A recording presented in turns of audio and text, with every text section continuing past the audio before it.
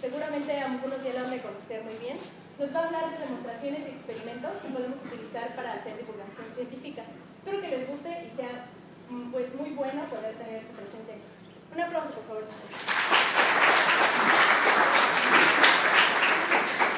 Pues eh, gracias por la invitación.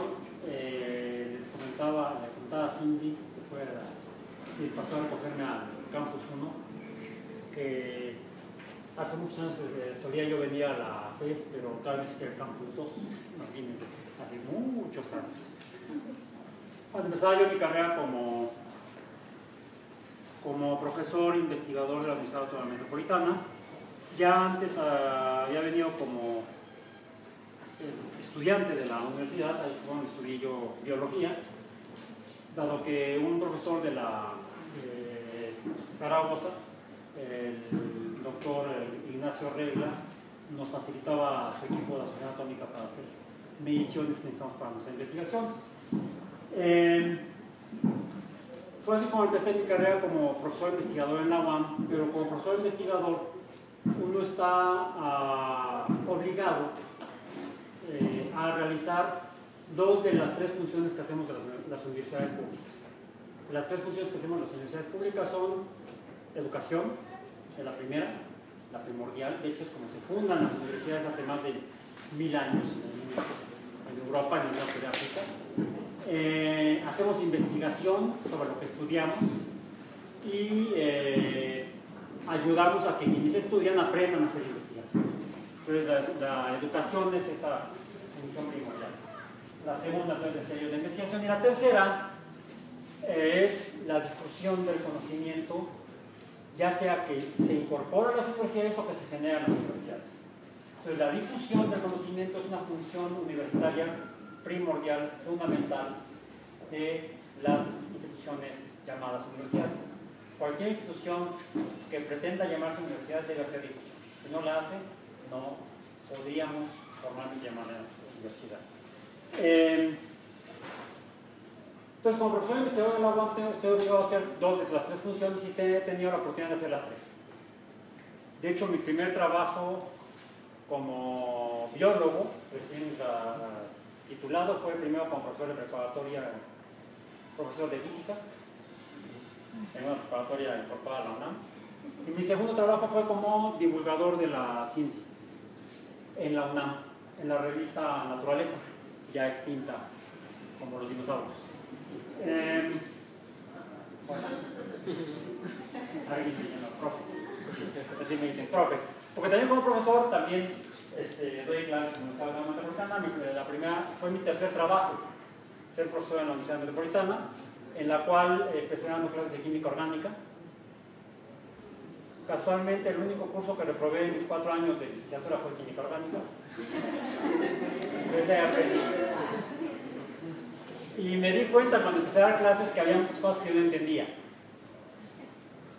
Eh, y me di cuenta porque tenía yo que explicarse, explicarlo o ayudar a que otros lo entendieran.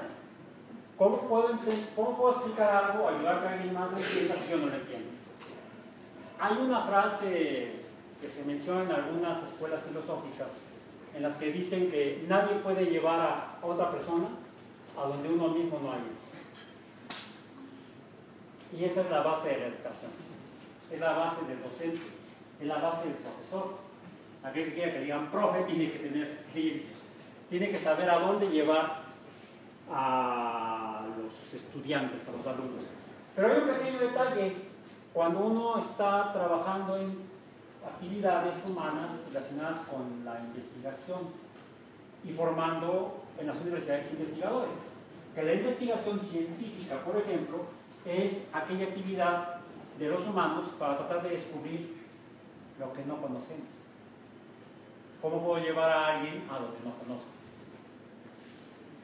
No conozco la meta, tal vez no conozca el camino, pero sé cómo viajar. Y ese viaje se llama ciencia. Lo que a mi modo de ver, se llama método científico no es el método científico, sino que son los métodos, las formas en las cuales a través de la ciencia, que decía Carl Sagan, que es una forma de pensar para conocer, podemos conocer lo que sea de nuestro interés. Puede ser cómo funcionan los seres vivos, y entonces le llamamos biología. Puede ser cómo funciona el universo, desde lo más grande hasta lo más pequeño, y entonces le llamamos física. Puede ser los cambios que suceden en lo que hay en el universo, sobre todo en las cosas, vamos a decir, que tienen materia, que tienen masa, y entonces le llamamos química. Pero podríamos tratar de entender cómo funcionan esas congregaciones de entidades que se mueven en dos pies, tienen extremidades, hablan y hacen otras actividades que se llaman humanos, viven en sociedades, y entonces le, le llamaríamos sociología. Aunque algunos físicos afirmen que la sociología no es una ciencia, tienen sus razones, tienen sus argumentos más bien, pues si usamos los métodos de la ciencia para tratar de entender cómo son, cómo funcionan las comunidades humanas, es decir, sociología, estaríamos entonces haciendo ciencia sociológica. La ciencia entonces es esta forma de pensar para tratar de conocer. Pero hay varias formas en las que tratamos de conocer. De hecho, los humanos creemos a través de la evidencia que desde que aparecieron trataban de conocer simplemente para tratar de conocer lo que querían comer.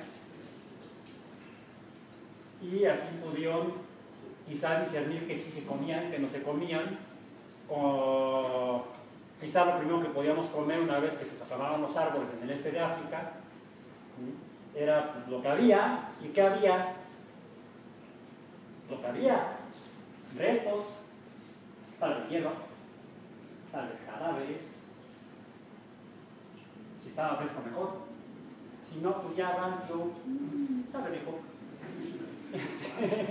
y con hambre más, bien, entonces, eh, y lo primero que, la primera forma en que interpretamos cómo funciona el universo fue a través de la imaginación.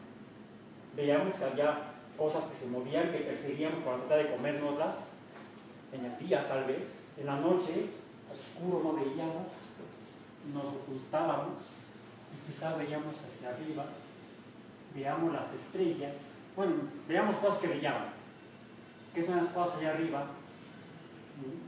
y de cómo dijo Pumba, este, deben ser bolas de gas quemándose a millones de kilómetros de aquí. Por eso le decía a Timón, tú siempre pensando en gases. Casualmente el tonto tuvo, la mejor hipótesis, diríamos, en ciencia. Em, pero ¿cómo, ¿cómo, le confirmaría, cómo le reafirmaría Pumba a Timón que efectivamente son bolas de gas. El problema es que no tenía las herramientas con cual demostrarlo. La respuesta de Simba fue no, este, son los dioses, no son los dioses, son los reyes muertos los que no allá arriba. Entonces Timón dijo que eran, este, que eran un montón de cadáveres en el cielo. Eh, y, la, forma de pensar de los humanos en diferentes sociedades humanas, en diferentes lugares de la Tierra, hace más de 5.000 años, o todavía hace 5.000 años, cuando surgen las primeras civilizaciones, son que son seres inalcanzables, por lo, tanto, por tanto tal vez sean más poderosos que nosotros, y les dimos el nombre de dioses. Fue una interpretación, ¿serán dioses? No sé, habría que demostrarlo, diría alguien. Más recientemente, corramos rápidamente en el tiempo, llegamos hace 500 años, eh, y un poco por eso ando con la greña así, este no es mi look natural, normal. Bueno, es muy natural, ¿no? Pues no es el normal. Este, tanto de parecer un poco a Copérnico. Copérnico tenía cabello largo, fue precursor de los Beatles, yo creo. Eh, Copérnico, ¿quién fue Copérnico? Nicolás Copérnico. ¿Alguien recuerda quién era Nicolás Copérnico? Eh, fíjate que desafortunadamente no, fue un problema para él. Fue quien armó el primer telescopio para ver hacia arriba, no estamos seguros que lo haya inventado, aunque él dice que lo inventó. Era muy bueno para contar historias y ganar dinero, Galileo Galilei. Sí, hizo un, telescopio, le llamaban anteojo, no le llamaban telescopio, le llamaban un anteojo para ver al cielo Eh, pero Galileo nació al año siguiente de que Copérnico murió. Entonces no. No fue desafortunadamente Copérnico, no tuvo telescopio. Sus papás no se lo regalaron. No, había los telescopios de alegría.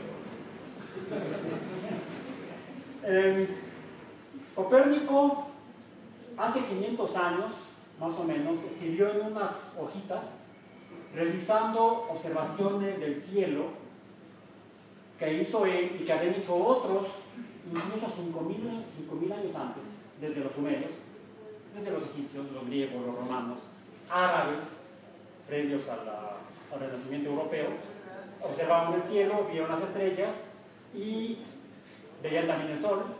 Y todo el mundo imaginaba que la Tierra estaba firme y el sol y las estrellas giraban alrededor de la Tierra.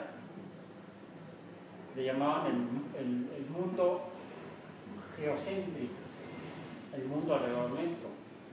Somos el ombligo del mundo. Estamos en el centro. Copérnico dudó un poco de eso y le hizo algunas cosas, observaciones, y él llegó a la conclusión de que mmm, así no era.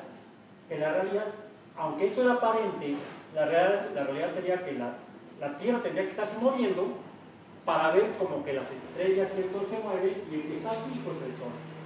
Porque algún griego midió el tamaño del Sol y, y se dio cuenta que era más grande que la Tierra. Entonces, tanto ese griego Aristarco como Copérnico pensaban que lo más pequeño tendría que estar alrededor de lo más grande. La luna sí también la pudo, la pudo medir eh, Aristarco y pudo medir que era más pequeña que la Tierra. Entonces, si la luna es más pequeña que la Tierra y gira alrededor de la Tierra, la Tierra, que es más pequeña que el Sol, debería girar alrededor del Sol. El problema es que nadie le creyó, o muy pocos le creyeron. Igual yo ahorita les puedo decir que aquí en mi mochila traigo un un dragón morado. ¿De veras? ¿Sí me creen, verdad? Me invitaron a hablar de eh, demostraciones.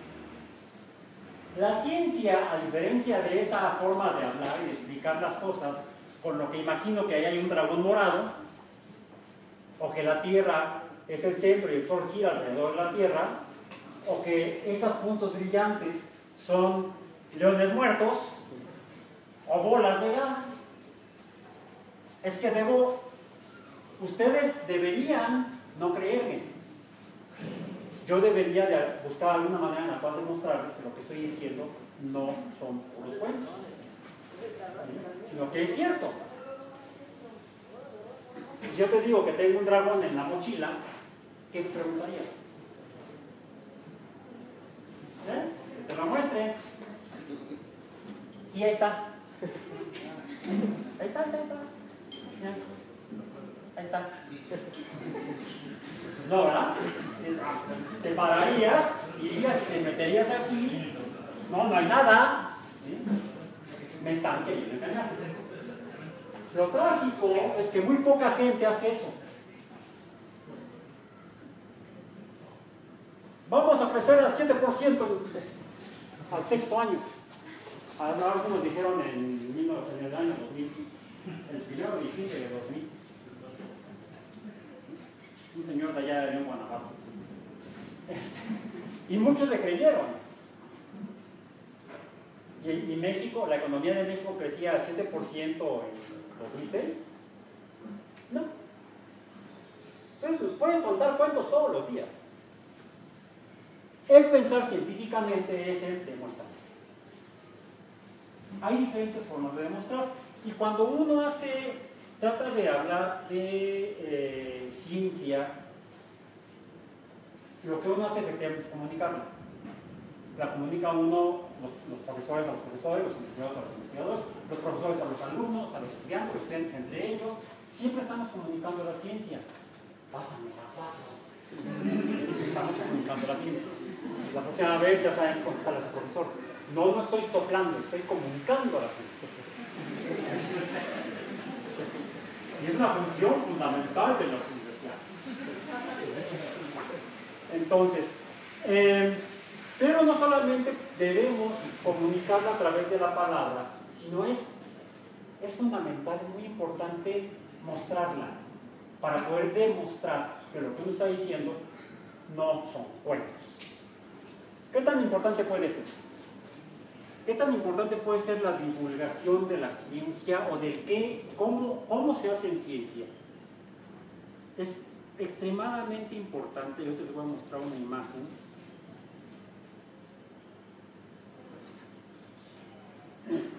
El Challenger. El despegue del Challenger el 22, eh, si no me equivoco, no, 28 de enero de 1986.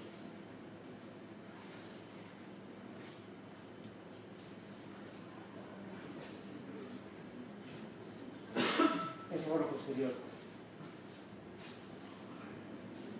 Siete astronautas. Bueno, sí, siete astronautas. entre ellos la primera persona astronauta civil no entrenada inicialmente para ser astronauta, ni siquiera científico, porque ya había astronautas científicos. El, último, el penúltimo hombre que caminó en la Luna fue el primer científico que caminó en la Luna. Un astronauta científico. Jack Schmidt, geólogo. Em, no, en esta misión iba la profesora de secundaria de Estados Unidos, Krista Napoli, una educadora. Iba a dar clases desde el espacio. Fue una tragedia había que contar las causas. Eh, me voy a regresar al anterior para mostrarles, no sé si recuerden cómo funcionaba el transbordador espacial. Ya está retirado el servicio, los transbordadores espaciales, están, actualmente son piezas de museo y así porque literalmente son piezas de museo.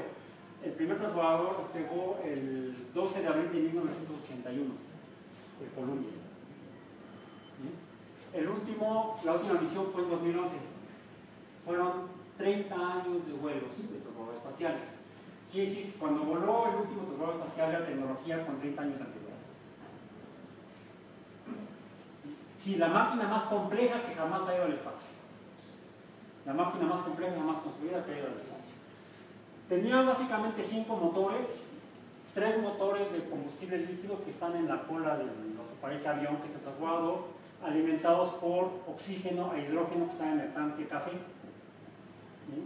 alimentaban a los motores, había funcionando y, y para darle el impulso suficiente y llevarlo a la órbita, porque es una nave muy pesada, no recuerdo exactamente, pero son muchas toneladas, usaba dos cohetes de combustible sólido. Es como polvo de aluminio. Como hagan de cuenta los cohetes del 16 de septiembre, de la fiesta de Chichín de la Pradera también, este, son cohetes de combustible sólido. No se habían usado nunca antes en, en, cohetes con tripulaciones humanas porque son, una vez que lo prendes no lo puedes apagar.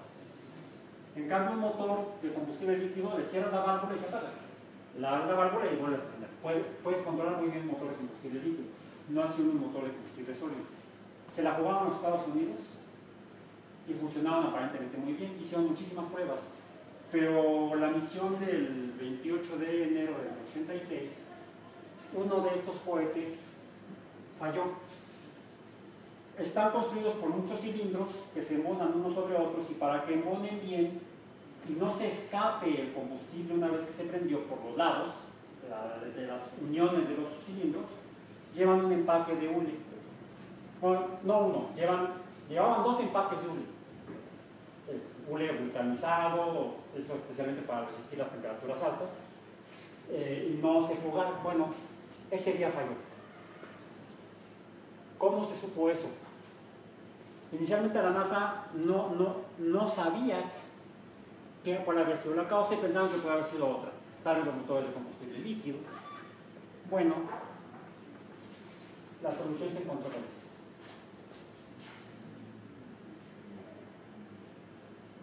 ¿Saben lo que es? Una prensa de tornillo, en México le llamamos sargento. Bueno, este más me parece un cabo, porque es más pequeño. Bueno, así le dicen en la mecánica, un, sargento. Una pinza, una pinza de presión. una, prensa de tornillos.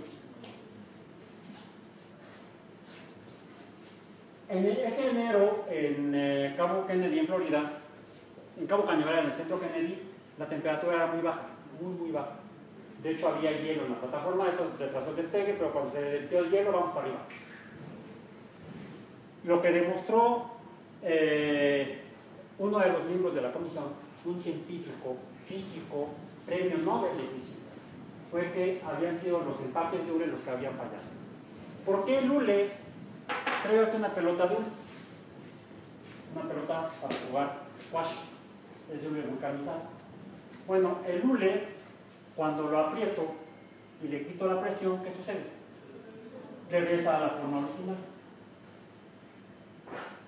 Ah, eh, este investigador, este físico, Richard Feynman, ya había recibido datos que sugerían que debido a, la, temperatura baja, la pelota, bueno, la pelota, si hubiera sido la pelota o el empaque, estaba tan frío que quizá se deformó y no regresó a su forma normal para cerrar, hacer el sello y evitar la fuga del combustible. La NASA no lo creía porque les habían dicho que podía soportar temperaturas muy bajas. Bueno, Richard Feynman, se lo presento, en la comisión había investigadores, bueno, estaba gente como Neil Armstrong. Neil Armstrong no solamente era astronauta y piloto, también era científico. Era, era, tenía un doctorado en, ingeniería. Richard Feynman, aquí está la prensa, lo que hizo fue tomar un pedazo de empaque de esto de trabajo espacial, meterlo en un vaso con hielo unos pocos minutos y al sacarlo, al sacar el empaque, ahí está sacándolo, mostró que una vez que estaba presionado, al quitarle la presión, el empaque quedaba deformado. Hagan de cuenta que yo suelto la pelota y la pelota se queda achatada debido a la temperatura del hielo, 0 grados Celsius. Ese día en el cabo, en el, cabo, en el centro espacial tenía la temperatura de unos 5 grados Celsius. Se revisó y efectivamente todo apuntó a que esto fue la causa. Y la demostración se basó en una prensa de unos pocos centavos de dólar y un vaso con hielo pudo demostrar como un sistema de varios millones de dólares falló con un simple experimento, con una pequeña demostración. Las demostraciones pues, son importantes y las dejo con esta imagen. Incluso fue tan trascendente esta historia de Feynman que incluso lo llevaban al cine. Ese es eh, John Ford, sí, creo que sí haciendo papel de Richard Feynman en una película, donde él está el pizarrón, está dando una clase de física, dice energía potencial asimétrica y por acá tenía las ecuaciones y le dice no escriban. Hizo la demostración de la transformación de energía potencial en simétrica. Muchas veces una demostración ayuda a que la gente entienda y recuerde mejor las cosas más que este rollo que me estoy aventando. Y con esto voy a terminar prácticamente el rollo. Y me voy a abocar a hacer algunas pequeñas demostraciones. Eh, por este, esta demostración se ha vuelto famosa. Incluso, déjenme ver si lo puedo pescar aquí, si acaso está. Sí, miren. ¿Sí lo, ¿Sí lo vieron en la tele? A Neil Tyson. Cosmos el año pasado repitió el experimento que de, Feynman. ¿Bien? En la. No sé si puede verlo.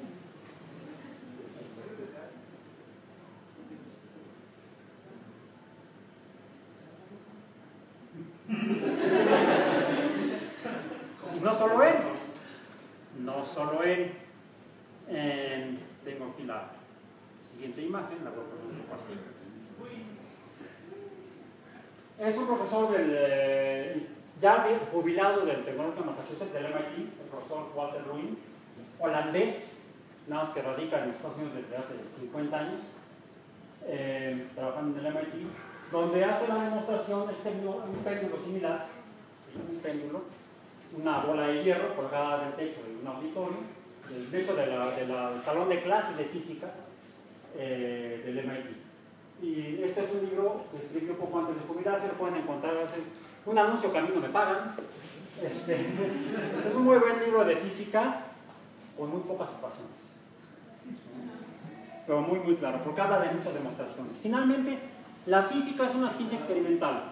La biología es una ciencia experimental. La astronomía es una ciencia experimental. Ay, vamos, tú tomas aquella estrella, yo tomo esta, la hacemos orbitar. No, no, no. Es una ciencia eh, experimental observacional. O podemos hacer modelos.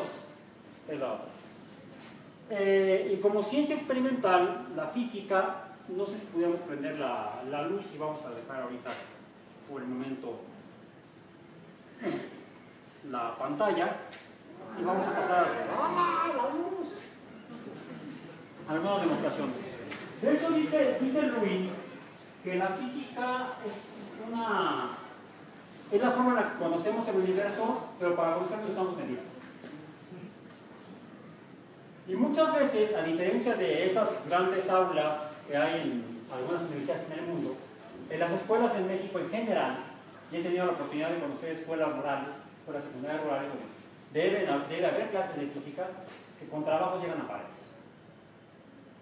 Es una tristeza, pero es una triste realidad en el país.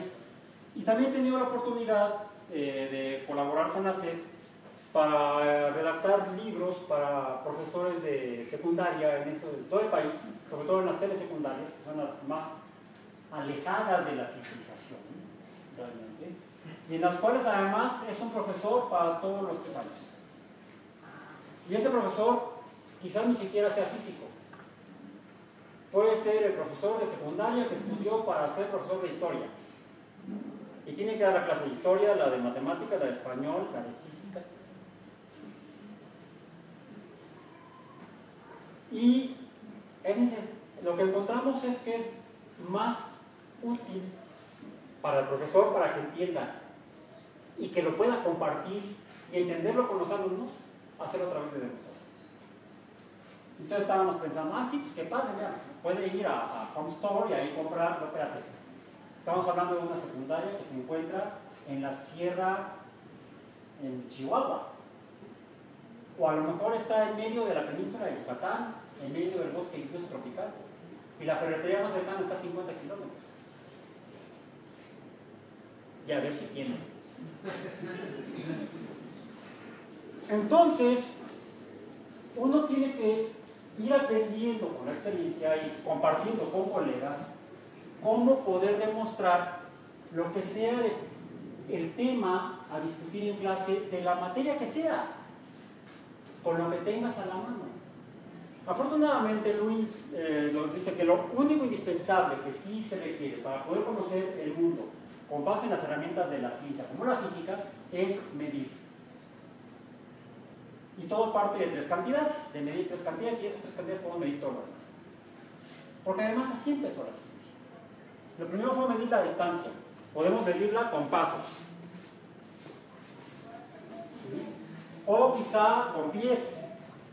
¿Cómo jugaban cuando eran chiquitos? Gallo, gallina, gallo, gallina. Bueno, quizá eso es el pie, pero el pie era de, tal vez un rey patón, pata grande, y por eso el pie actualmente son, equivale a 30 centímetros. Eh, tres pies son una yarda, eh, 12 pulgadas son un pie, la pulgada por cierto era el dedo pulgar del rey, la yarda era la distancia de su nariz al dedo medio, pero por tanto los franceses tiraron al rey e inventaron el sistema internacional. Y entonces, para longitud tenemos el metro. También para venir a Zaragoza tenemos el metro. Así me viene el metro.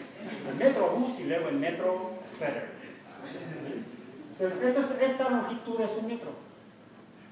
Y ya con esto puedo empezar a conocer. Entonces, lo indispensable sería tener por lo menos, aunque fuera un palo, por la longitud de un metro. Ya podemos empezar a hacer demostraciones. ¿Cuáles demostraciones? Hay otra cantidad que también necesitamos conocer, el tiempo.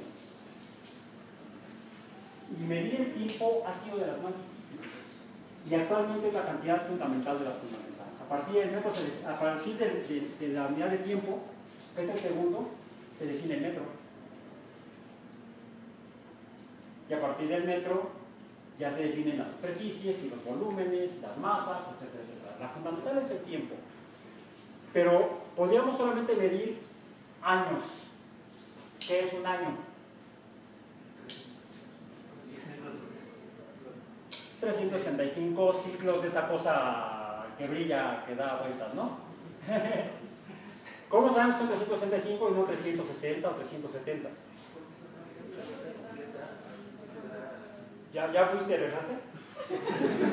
Demuéstralo. Y si ahorita vengo. Nos vemos dentro de un año. ¿Quién está estudiando física? ¿No? ¿Unos biólogos?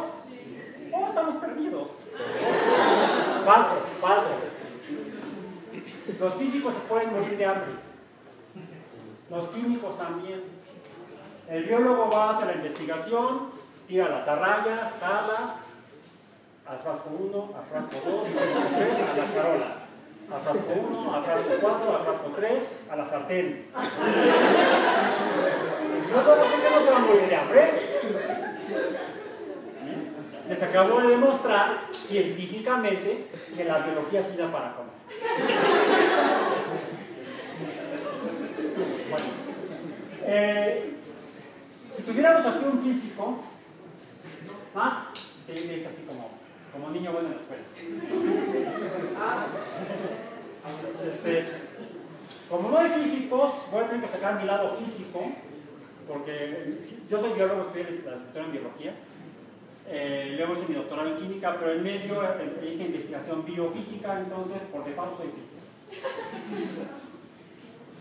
Este, eh, aunque no tenga mucho, soy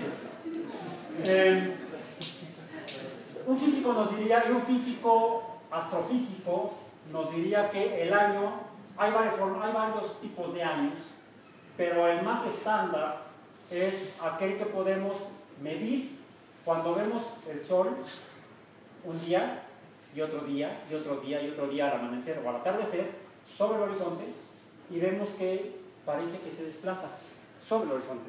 Entonces, sí me voy a permitir, aunque no es necesario que apague la luz, déjenme ver, porque tengo aquí, casualmente, me gusta tomar fotos del horizonte, aún con el, con el teléfono, es un muy buen invento de la humanidad. Esta no es la cámara, me equivoqué.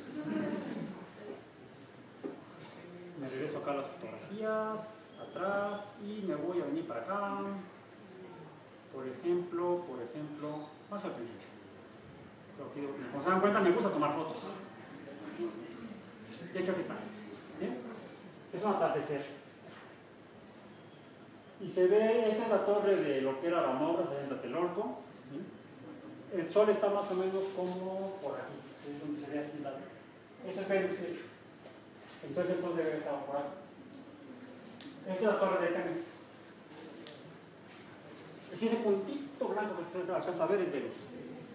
Entonces, es en alguna época del año, más en, el otro lado, es el amanecer, hacia el otro lado desde Tlatelolco.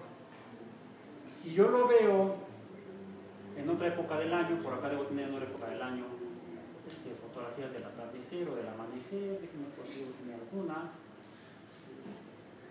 Sí, ahí están. Después de la noche. No, ese día está, está amaneciendo. Está por acá, el sol está más acá.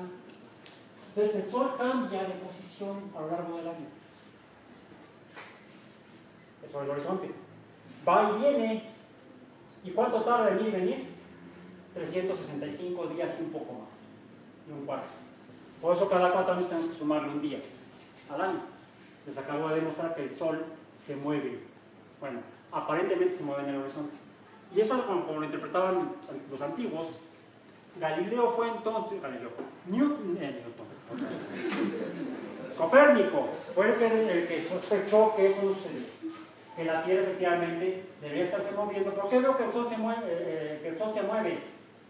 Si el Sol es la lámpara del proyector, ¿sí? ¿Se mueve? No se mueve. Pero si yo roto, es decir, acá estaría viendo,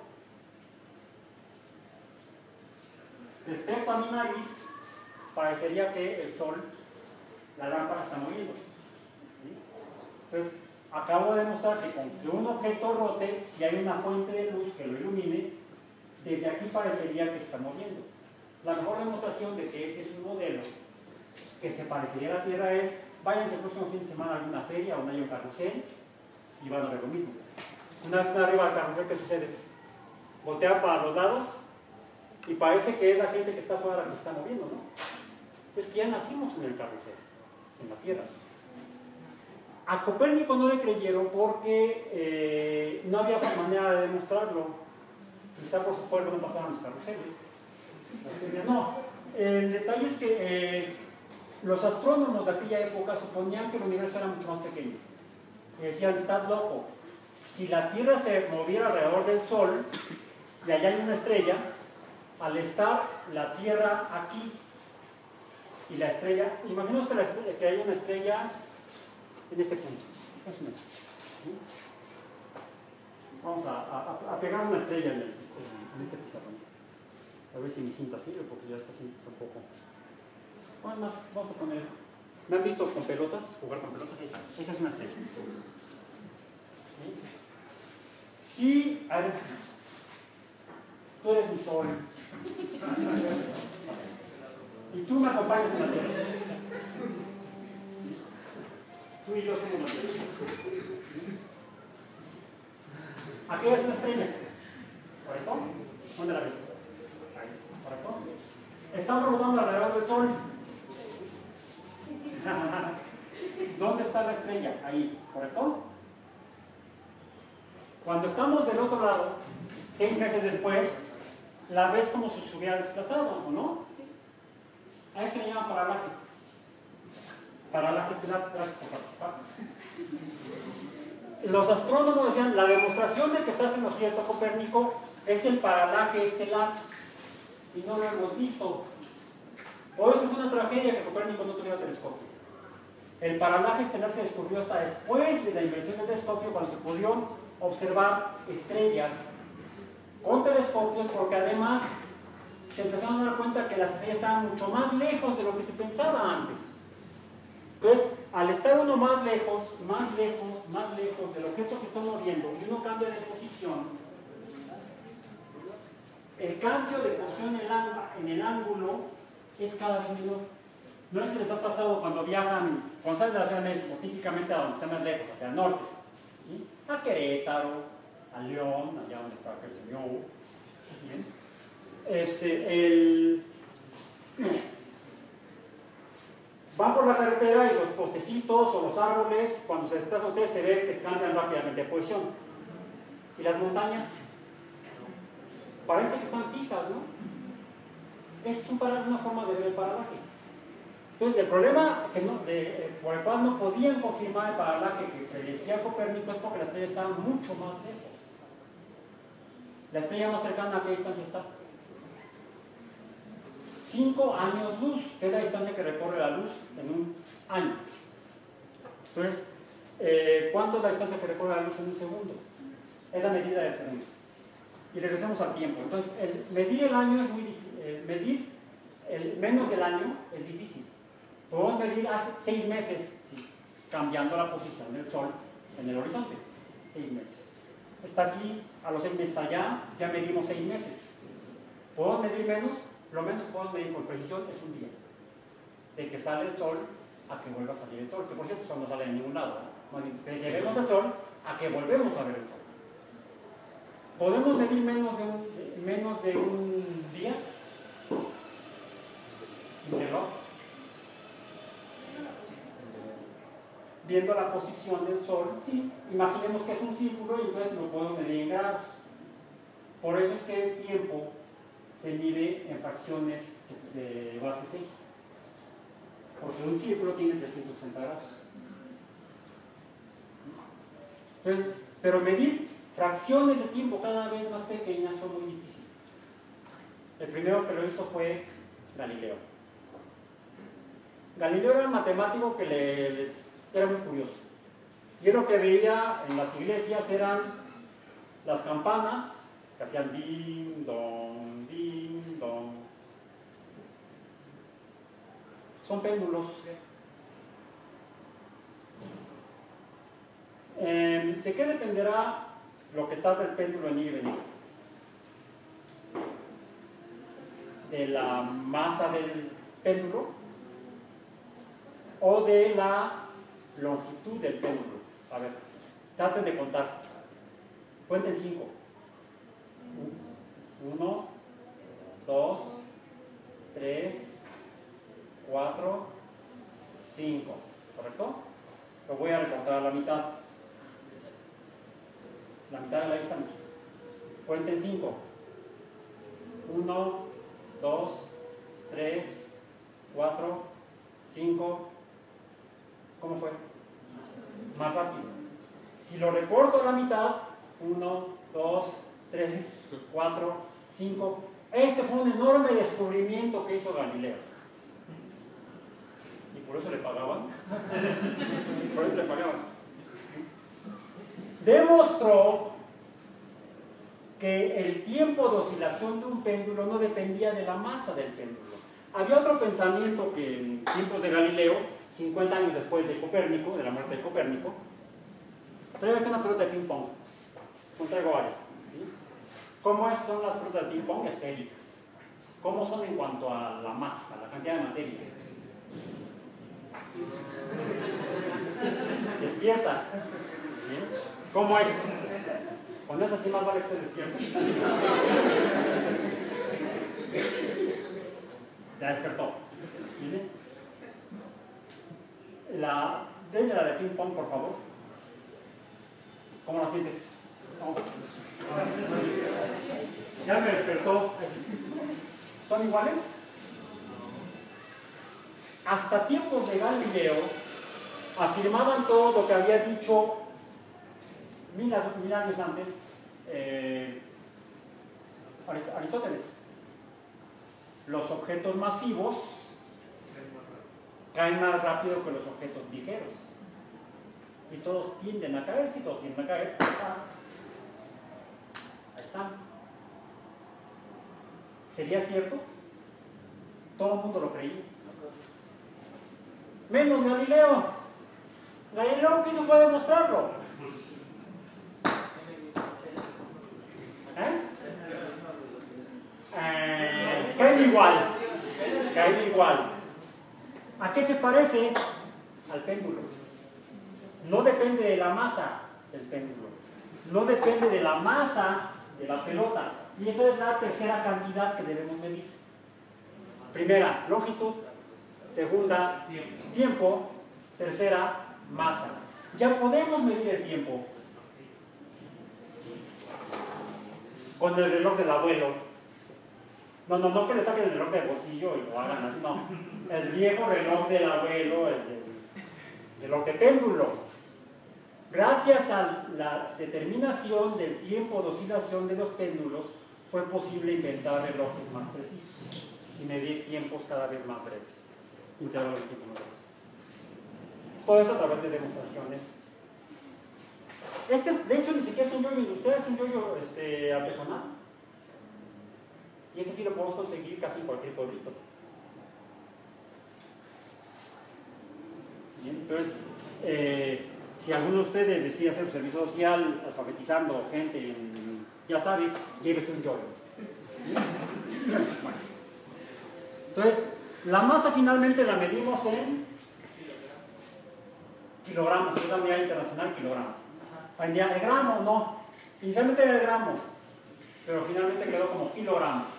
Entonces, la unidad de longitud es el metro, la unidad de tiempo es el segundo, la unidad de masa es el kilogramo. NKS. Es el sistema con el que medimos todo. Entonces, este es un, un medidor de gramos, pero también mide newtons. ¿Por qué newtons? ¿Qué es la fuerza? Es la fuerza de mucho.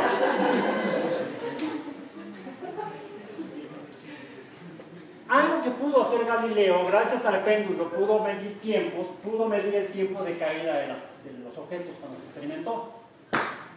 Por cierto, no los dejó gravitar así. Gravitar era caer. Acá día casi nadie usa el verbo gravitar para caer, aunque siguen gravitando.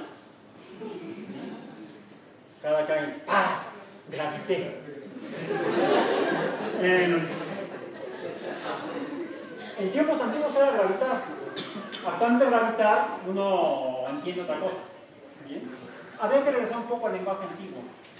Lo que pudo determinar Galileo es que, ok, número uno, y al principio no le creían hasta que lo demostró muchas veces, todos los objetos sin importar la masa caen igual. Y lo hizo con un plano inclinado, una resbaladilla. A lo mejor él sí fue al parque cuando era niño.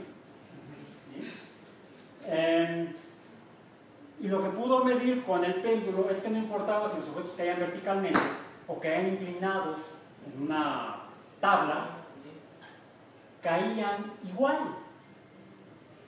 Caían igual, pero cuando midió el tiempo de caída y la longitud que recorrían, las distancias no eran constantes. La distancia va aumentando cada unidad de tiempo. ¿Cómo lo demostramos? Aquí sí, o repiten el experimento con el plano inclinado de Galileo, o afortunadamente tenemos algo que Galileo no tenía, una cámara en el bolsillo. Ya casi todos tienen celular con cámara. Ya están ya muy baratos, a menos que lo acaban de volar y entonces tienes que ponerlo con un Tamagotchi, no hay problema. Pero puedes ir con tu amigo y pueden actualmente, y esto, lo hago frecuentemente en clase, pintamos una escala en un pizarrón, dejamos caer pelotas diferentes de masas distintas, grabamos desde una posición y procesamos el video cuadro a cuadro. Sabemos, contamos cuántos cuadros tardan en un segundo y tenemos la, unidad de tiempo. En el pizarrón tenemos la distancia y podemos determinar nuevamente de manera experimental la aceleración de gravedad. ¿Por qué aceleración? Porque la caída no es constante, la velocidad no es constante. Cuando la velocidad cambia, aparece una nueva cantidad. De hecho, decíamos, primera cantidad, longitud. Segunda, tiempo. Tercera, masa. Si relaciono longitud con tiempo, aparece una cuarta cantidad. ¿Cuál es? Longitud y tiempo. Longitud y distancia, sinónimo. Distancia y tiempo, a ver, vamos a ver. Para eso traigo otra pelota diferente. Esta es maravillosa para eso. Una pelota más pequeñita. ¿Correcto? ¿Cómo se mueve? ¿Cómo se movió? Vertical. Vertical. Para abajo y para arriba. Y si medimos la distancia y el tiempo de caída y de subida, son iguales son iguales. Parte del reposo, llega a un instante de reposo, regresa a otro reposo. Y la caída y la subida son iguales. La relación distancia, longitud, tiempo son iguales. Ahorita no se los puedo demostrar, pero lo pueden hacer ustedes. esto sí hagan en casa. ¿Sí? A diferencia de lo que van a un espectáculo, lo que van a ver no lo hagan en casa. No, esto tarea, lo hacen en casa. Para mañana. Por eso a esto le llamamos rapidez. La relación distancia-tiempo es rapidez. Porque no me están diciendo hacia dónde es. Disculpe, la, eh, la diferencia entre la rapidez y la velocidad es que la velocidad tiene vector o algo así. Ah, vamos por partes, sí. Ah, la diferencia, y es lo que es, ya me ganaste, vete para acá, vamos a dar la charla, la charla juntos. es que es lo que voy a decir. Ah, perdón, perdón. No, no, no, no, no, no te perdono. No te perdono porque no tienes por qué pedir perdón, digo. Es por eso, no, no, no vean que soy muy rencoroso, para nada. Este, eh, cuando cae, debo decir que se desplaza hacia abajo a una distancia de tal cantidad por unidad de tiempo. Cuando digo que es hacia abajo, ya no estoy hablando de rapidez. Estoy dando hacia dónde va o dirección. Una segunda propiedad, además de qué tan rápido. La cantidad es un valor. ¿Hacia dónde? Es una propiedad. ¿Hacia dónde? Es una segunda propiedad. Y entonces a esa nueva cosa le llamamos vector. Un vector de dirección. Y ahora sí, cambia de nombre de rapidez a velocidad. Cuando regresa, regresa igualito en, en los valores numéricos de cantidades. La aceleración de ascenso es igual a la aceleración de descenso. Nada más que ahora viene de regreso, el vector está al revés. Entonces, hay una velocidad hacia abajo y hay una velocidad, distinta hacia arriba, pero distinta solo en el signo. Por eso en los ejercicios del examen siempre que te pregunta es velocidad porque dicen una dirección, así vamos de punto A punto B. Sí. Vamos de punto A al punto B. Dígame usted cuál es la rapidez. No, espérenme, le puedo decir la velocidad. O si le puedo decir la rapidez y la velocidad. Pero si me dices, en un viaje entre las ciudades de Acapulco y, Cuernavaca, el vehículo se desplaza a 20 kilómetros por hora. ¿Quién va manejando? Mi abuelita. Díganme usted la velocidad. No puedo. Porque no me dice si voy o vengo, si voy a Acapulco o voy a, a, Cuernavaca. Pues en un, viaje, en un viaje entre las ciudades de va a tantos kilómetros por hora, es rapidez. Ahora se dicen, en un viaje de Cuernavaca a Acapulco, ah, ya me estás diciendo el vector, la dirección. Entonces, son sutiles a las diferencias cuando uno trata de hablar ya en lenguaje científico formal. Y es algo que desafortunadamente no lo hacemos llegar cuando damos charlas de divulgación o escribimos un artículo de divulgación. Hay ahí una polémica, una polémica que he tenido con algunos colegas, este, algunos divulgadores profesionales. Yo no soy divulgador profesional, yo, uno es profesional cuando cobra. Entonces yo por esto no cobro. Yo cobro por dar clases en la UAM, cobro por hacer investigación en la UAM y cobro por la difusión que hago en la UAM. Aquí es gratis. es que aprovechen. Este, no, el punto es este. Em, yo soy un profesor e investigador profesional. Y soy, en estos casos, un divulgador aficionado, digamos. Hay divulgadores profesionales, los que cobran por hacer divulgación gente como Bill Nye, el, el, presidente de la sociedad de la Planetary Society, gente como Neil Tyson, y miren que cobra. Luego les paso la factura. Este, ellos son divulgadores profesionales. Desafortunadamente, muchos divulgadores profesionales afirman que su labor de divulgación no es educativa. Es su punto de vista. Yo lo respeto, pero no lo comparto. Porque si yo estudié ciencia, al menos en mi caso, y conozco otros casos similares, fue porque nos, despertó la curiosidad cuando éramos niños a través de la divulgación. Veíamos películas, libros, revistas, caricaturas, y por eso decidimos estudiar y dedicarnos a la ciencia. Pero además nos dimos cuenta, varios de nosotros, cuando llegamos a la escuela, que muchas de las cosas que nos decía el profesor o la profesora ya las sabíamos. Ya lo habíamos aprendido. Habíamos tenido un proceso educativo extraescolar, afuera de la escuela, eso sí. Entonces, la divulgación puede tener función educativa. Y en ese sentido es una labor muy importante. Debe hacerse bien. Por eso a mí me asusta cuando veo divulgación mal hecha aunque sea por entidades muy grandes y con grandes recursos. Eh, ahorita les mostré la imagen del doctor Tyson.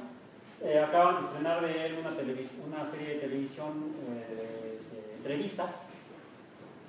las graban en Estados Unidos en inglés, luego las doblan al español y las pasan en América Latina.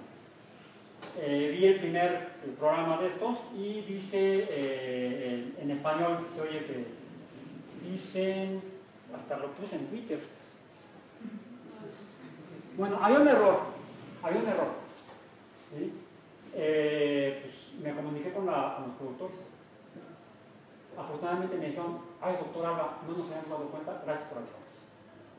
Vamos a tener más cuidado con el equipo de asesores para tener supervisar mejor el, trabajo de, de, de, de doblaje, de traducción. Porque son pruebas de divulgación y tienen impacto en la educación. Así como mis amigos y yo nos dimos cuenta que al llegar a la escuela ya sabíamos cosas, porque las habíamos visto afuera de la escuela. Ahora, el problema es que en estos casos puede ser al revés, que lleguen sabiendo cosas que no son. Eso es una deficiente y hasta mala divulgación de la ciencia. Entonces, para terminar, eh, para que lo importante es entender los conceptos y entonces poder compartirlos. Hablamos de la pelota, del empaque, del hule. ¿La pelota cómo es? Comparada, a ver, ¿qué esta? Comparada con la de béisbol.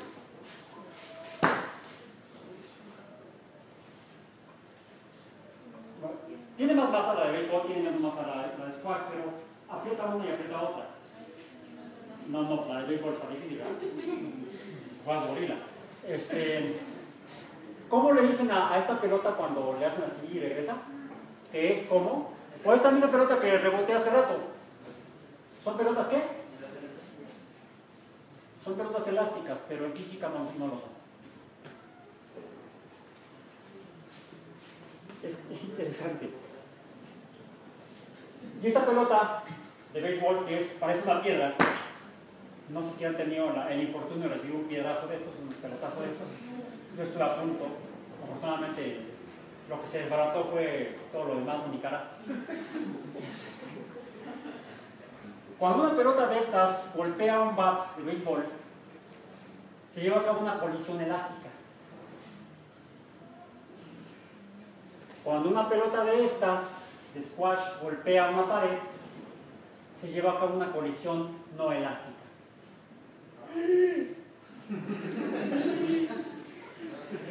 En física, en física, una colisión elástica es aquella en la cual voy a ver si sale así. Tratar de que esta tengo aquí dos palitos, tengo acá tres palitos con este. Voy a tratar de que el medio no se mueva. Pero es que hacer estos experimentos al aire es un poco. Pues no se hace como. Afortunadamente aquí puedo mover el pizarrón. Si alguien me echa la mano, puedo mover el pizarrón. Y vamos a usar lo que luego es una buena herramienta educativa. Ahí está, la canaleta del pizarrón. Es más, cre- creo que me han visto.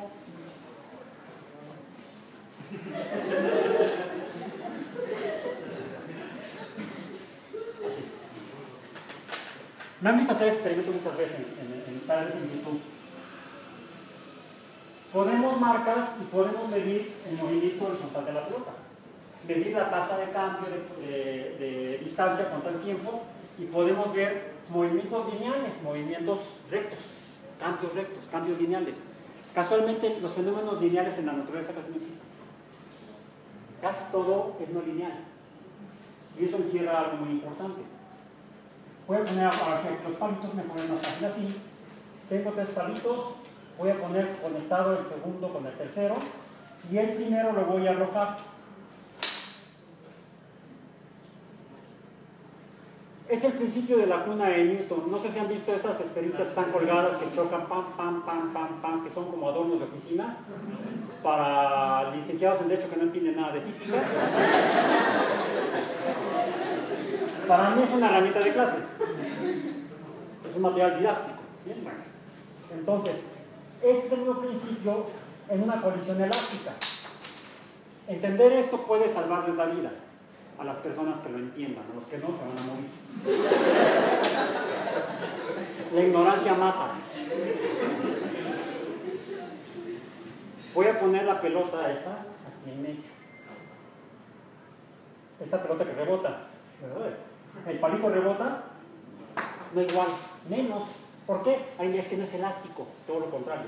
Es rígido y por eso las condiciones son elásticas. Pongo la pelota en medio una pelota elástica entre comillas,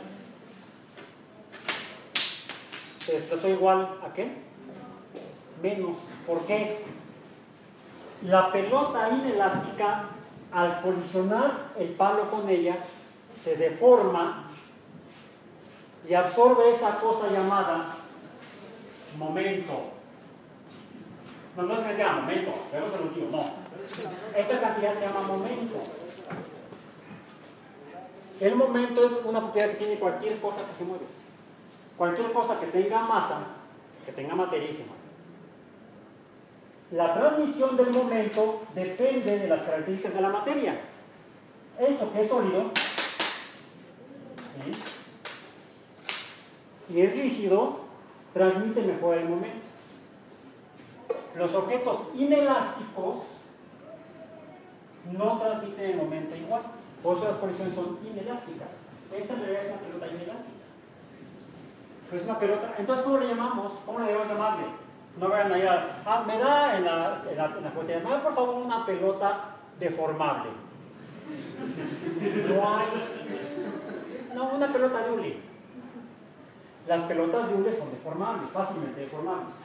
Las pelotas de béisbol no son tan fácilmente deformables. Sí, no son completamente rígidas. Si uno las firma con película de alta velocidad, cuando choca con el bate, sí se alcanza a ver cómo se deforma un poco, pero muy poco. Todo el resto de la masa que no se deforma es la que le da la transferencia del momento del bate y de la pelota misma, actuando de acuerdo a la primera ley a la tercera ley de Newton. A toda acción se, a toda acción se pone una reacción de la misma magnitud y sentido opuesto, para que entonces se vaya, se va, se va, se va, home run. Si las pelotas de béisbol fueran como pelotas de squash, los partidos no serían tan emocionantes. No habría este, batazos de cuatro esquinas. Entonces, esto es una forma en la que podemos demostrar este, con relativos materiales simples, estos son pedazos que me sobraron de madera de una talacha que hice en casa y se han convertido en material educativo. Entonces, la invitación finalmente es a que, ya sea con objetos tan sofisticados como esta lámpara de Tesla, pero esto es aquí un contacto muy cercano.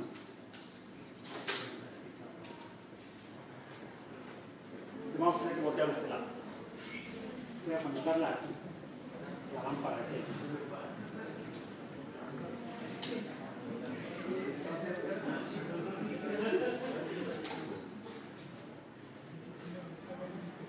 ¿Habrá electricidad ahí? Sí.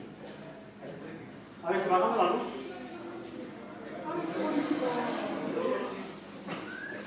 Bien. ¿Sí se ve?